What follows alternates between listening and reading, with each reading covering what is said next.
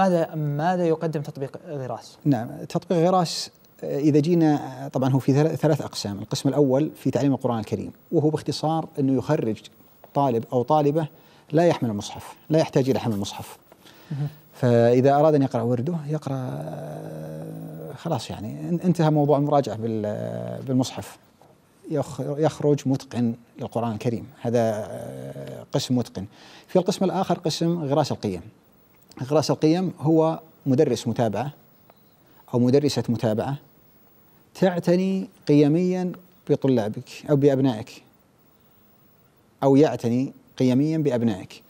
وهذا القسم اللي هو غراس القيم تبي تلقى فيه آه، عشرات من الموجودين كل واحد له اختصاص أو له أسلوب. ممكن تلقى مثلا في داخلهم مثلا يوجد دكتور عندنا من آه، الجامعة الإسلامية.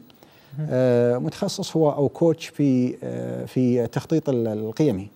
فتاخذ معه جلسة لأبنائك فيدرسهم ويحللهم تحليل ويخرج لك خطة كاملة عن أبنائك والخطة القيمية لهم آه، لمدة سنة أو لمدة سنتين. مثلا هذا واحد.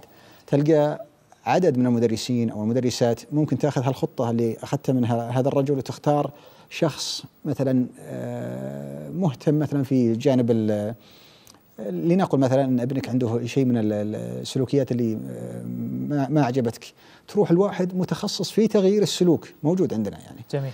كل هالموجودين ذولا آه، طبعا نكاد أن نقول كلهم نضمانهم يعني. ما هو بأي واحد يدخل. إحنا إحنا بنيجي على مسألة الاختيار نعم. كآلية اختيار المدربين أو المعلمين آه، اللي موجودين في التطبيق. طيب المسار الثالث؟ المسار الثالث هو مسار الأداء الصوتي. جميل.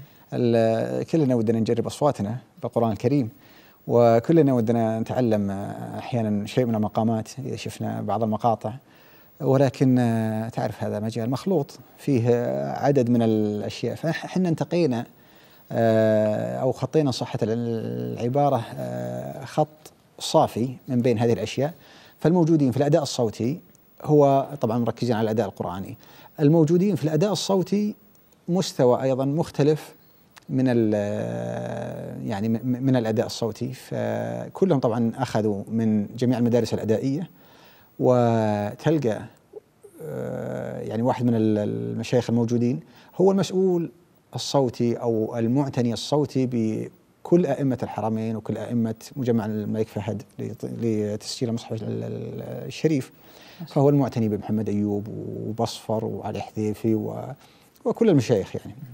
فهو اللي يقول لا هذا ترى فيه نشاز عدل الصوت الحرف هذا فيه آه، يعني ما ضبط عدل كذا ارفع الصوت بالطبقة الفلانية آه، طبعا موجودين بهذا المستوى في داخل التطبيق. فأنت تدخل وتقرأ ختمة أو تقرأ آه، عدد من الأوجه طبعا على حسب مستواك لأنه ما هو معقول أن واحد مبتدئ يجي يروح ياخذ واحد أصلا بمستوى عالي. يعني في فجوة كبيرة صعب أنه يعلمك أبجديات الأشياء.